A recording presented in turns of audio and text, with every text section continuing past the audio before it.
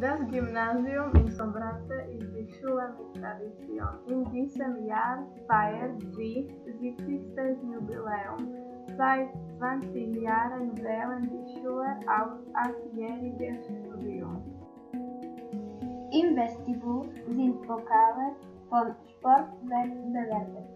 Da sitzen die Schüler in der Pause und plaudern. Erdgeschoss sind Klassenzimmern auf unsere Klasse und Deutschland. Da lernen wir Deutsch.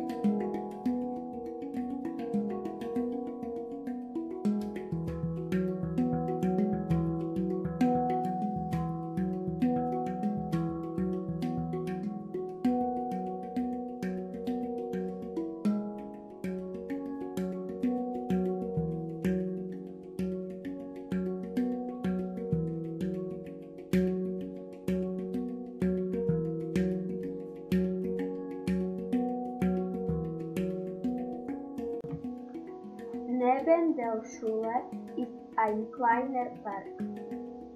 Wir gehen zum Schulhof. An den Wänden sehen wir schöne Gemälde.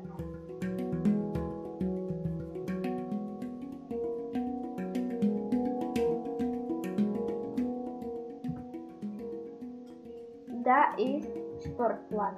Wir spielen hier oft und gern Fußball.